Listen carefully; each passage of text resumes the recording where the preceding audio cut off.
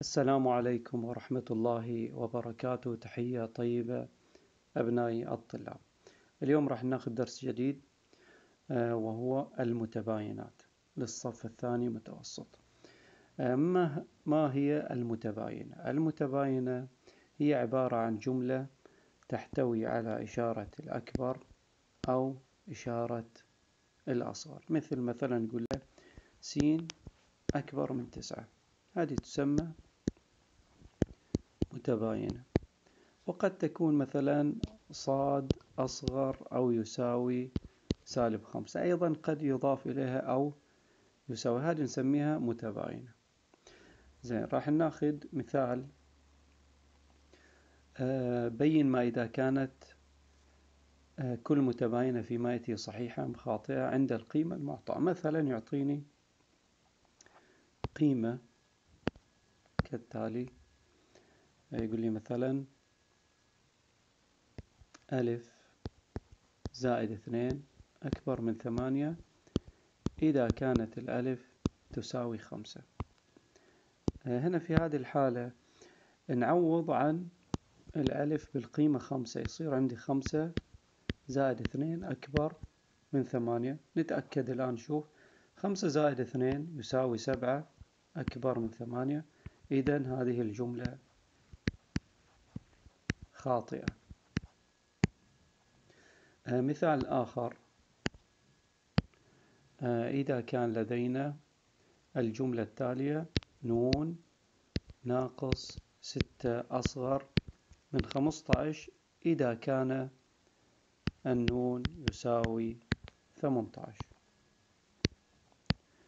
آه، نعوض عن قيمة النون بالعدد ثمانية عشر ناقص ستة أصغر من ثمانية عشر ناقص ستة يساوي اثنا عشر أصغر من خمسة عشر إذا قرأناها من جهة الخمسة عشر الفتحة فتحة الإشارة باتجاه الخمسة عشر تقرأ خمسة عشر أكبر من اثنا عشر إذا قرأناها من الاثنا عشر الفتحة مو معها الاثنا عشر اثنا عشر أصغر إذا العبارة التالية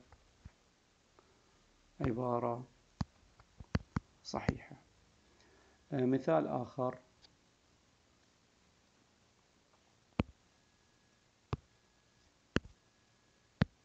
آه، إذا كان لدينا المتباينة التالية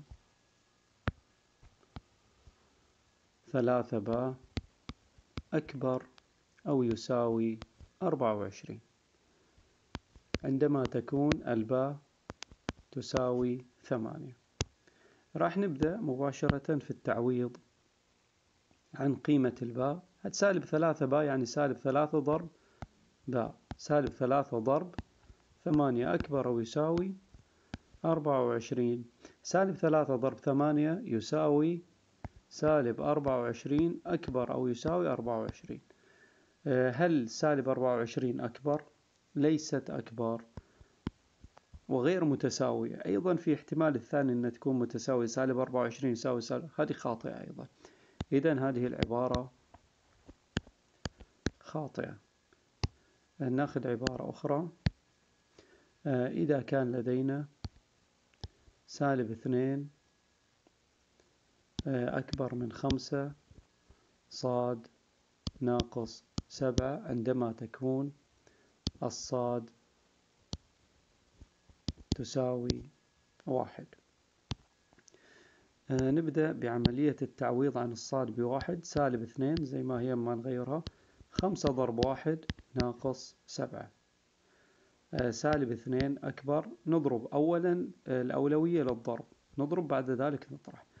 خمسة ضرب واحد خمسة ناقص سبعة يصير عندي سالب اثنين أكبر. خمسة ناقص سبعة سالب اثنين. هل سالب اثنين أكبر من سالب اثنين أو متساوي؟ متساوي لكن موجود عندي فقط أكبر إذا في هذه الحالة تكون الإجابة أيضا خاطئة آه، ناخذ أيضا آه، نضيف مثالين آه، إذا كان لدينا س ناقص أربعة أقل من ستة حيث أن السين تساوي صفر.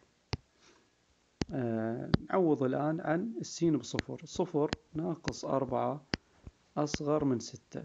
صفر ناقص أربعة ناقص أربعة أصغر من ستة. أي عدد سالب هو أصغر من الموجب؟ إذا قرأناها من سالب أربعة تقرأ سالب أربعة أصغر من ستة.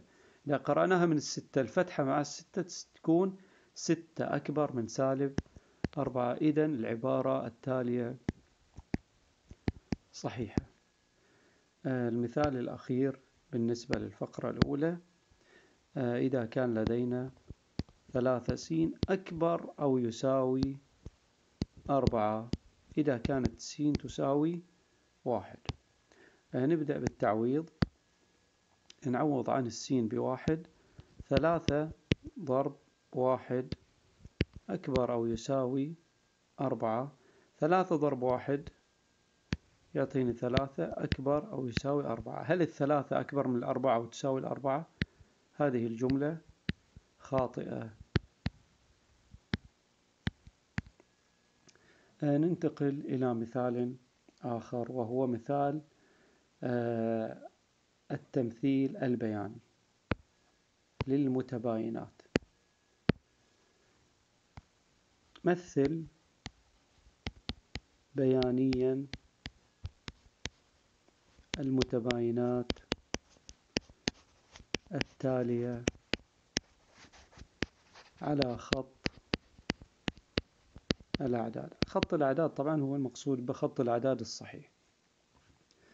آه واحد إذا كان لدينا س أكبر من اثنين. آه التمثيل يكون كالتالي. أولا نرسم خط الأعداد يكفي طبعا فقط أنا بحلها بالتفصيل. مثال أول هنا بيكون عندي صفر. ثم بالاتجاه اليمين الأعداد الموجبة واحد اثنين ثلاثة إلى ما لا نهاية. ثم عندي سالب واحد سالب اثنين سالب ثلاثة أيضا إلى ما لا نهاية باتجاه اليسار. آه نقوم بتحديد العدد اثنين. هذا العدد اثنين على خط الأعداد. هذا هو الاثنين نضع له دائرة مفتوحة. طبعا ليش دائرة مفتوحة؟ دائرة مفتوحة إذا كان لا يوجد أو يساوي يكون عندي مفتوح.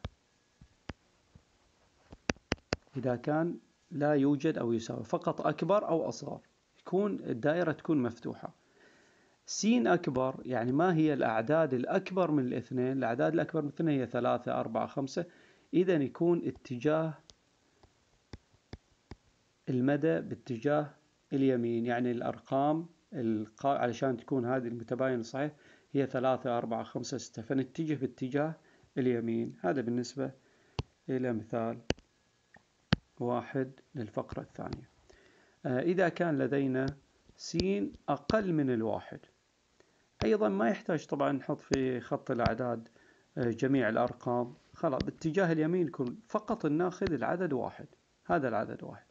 الدائرة مفتوحة بهذا الشكل مفتوحة نتجه س أصغر من الواحد. هذه طبعا الفتحة مو مع السين فتقرأ س أصغر من الواحد. إذا بدأنا القراءة من السين الفتحة مو معه فأقول له س أصغر من الواحد. الأعداد الأصغر من الواحد تكون باتجاه اليسار. وهي صفر سالب واحد سالب اثنين إلى ما لا نهاية. هذا بالنسبة لسؤال آه اثنين. أيضا ناخذ مثال على التمثيل. ثلاثة آه إذا كان لدينا يقول له س أكبر أو يساوي سالب أربعة. أيضا هنا التمثيل مباشرة نضع له بهذا الشكل خط. هذا عندي سالب أربعة بهذا الشكل. هنا بتكون عندي الدائرة مغلقة.